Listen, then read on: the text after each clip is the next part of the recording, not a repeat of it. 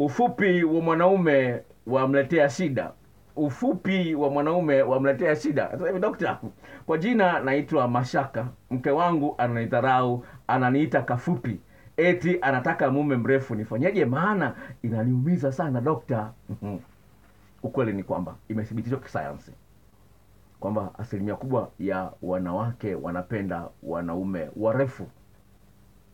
Hata wanawake wanaume vile vile mara nyingine wapendi wanawake wafupifupi hiyo ipo. Sasa ni hivi.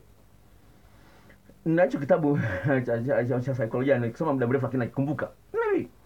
Pale unapokuwa na mapungufu katika uzuri wako ulewe sio handsome sana ni mfupi au ni mnene au nini kama nilivyozungumza kwenye mada lazima ujitahidi kuwa na mazuri mengine yanayoongezea uthamani wako unajua kwenye kwenye mada nimezungumza sawa kwenye mada nimezungumza nimesema hivi. Unapokuwa umekosea jambo moja kwa sababu jambo baya au pungufu moja lina nguvu kuliko zuri. Sawa? Sawa. Lazima ukikosea kwenye eneo moja ukiwa na pungufu la aina moja lazima ulizibe na mambo matano mazuri. Ukiwa na mm, kosa moja napaswa ulizibe na mambo matano. Sasa wewe ni mfupi wa kimo. Alikubali kukuoa mwanake alikupenda alikukubali kama ulivyo. Lakini akaja akagundua sasa una makosa mengine. Achana na ufupi unawahi kumaliza. Hujampa zawadi muda mrefu. Sijui humsifii. Sijui nini. Una maneno matamu ya kimahaba. Una sio mwongeaji.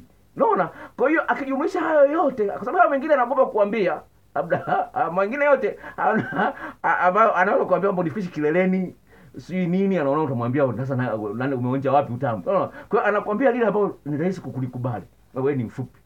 Kwani alikubali kuolewa nayo? Sasa alikuona kama ni mfupi hakukuona wakati unaolewa Ana- unamuoa kwa hiyo anachozungumza hivi.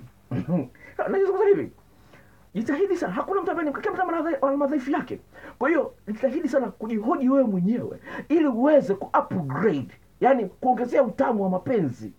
Ili yale mapungufu ulionayo mpenzi wako asiangalie angalie utamu wa mapenzi unaompa. Sawa?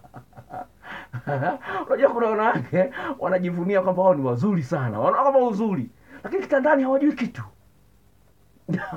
Wanafikiria ule uzuri wao ulisababisha mwanaume amng'ang'anie. Sawa? Sasa mwanaume anaoa mwanamke mzuri lakini anatembea na, ma, na, na, na, na, na machangu nashangaa. au mwanamke ana mwanaume ana pesa lakini unashangaa anatembea na watu wa matoroli. Kwa nini? Ni kwamba uzuri unaweza kuwa na pesa au na uzuri, lakini kuna mapungufu mengine, sio mwongeaji, sio mchangamfu, sawa, hujui kutoa zawadi no vitu kama hivyo, muoga au naibu sana, vitu kama hivyo.